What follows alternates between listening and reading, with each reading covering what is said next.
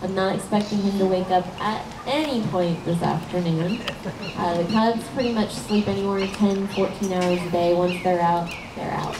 And he doesn't eat bamboo, he doesn't eat solids, he's strictly on milk.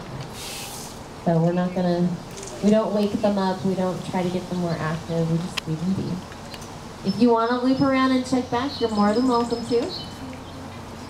Mom's gonna start eating bamboo, so she'll get in her spot. Typically, once she sits down, she's down for a few hours. I've seen her eat for three and a half hours straight. like me at buffets. So she'll sit down and eat for a while. Does she wake her baby up? Any mother of several children can tell, tell you you don't wake up a sleeping baby. That's more time by yourself.